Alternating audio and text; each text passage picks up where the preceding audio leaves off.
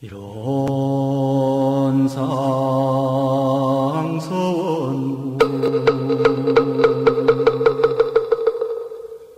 이러는 어너도 다는 입정처이 요용어 초월의 생사문인다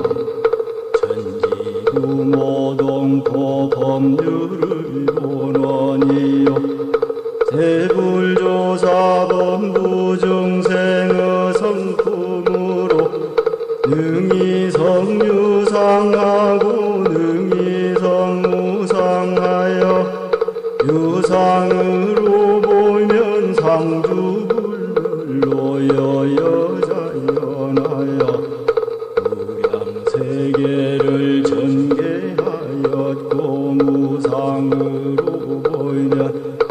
우주의 성주계공과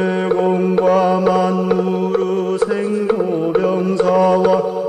사생의 심 신작용을 따라 육도로 변화를 시켜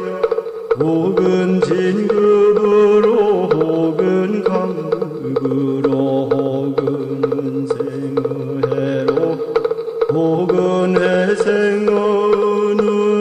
이와 같이 무량세계를 전개하였나니 우리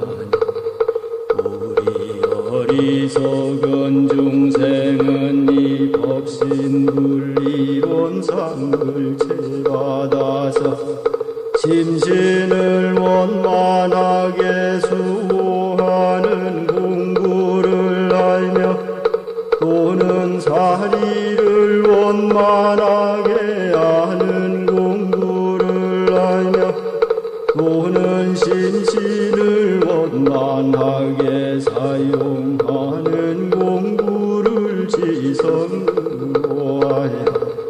진급이 되고 은혜는 입을지언정.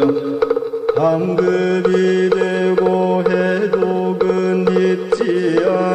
아니하기로서 이론의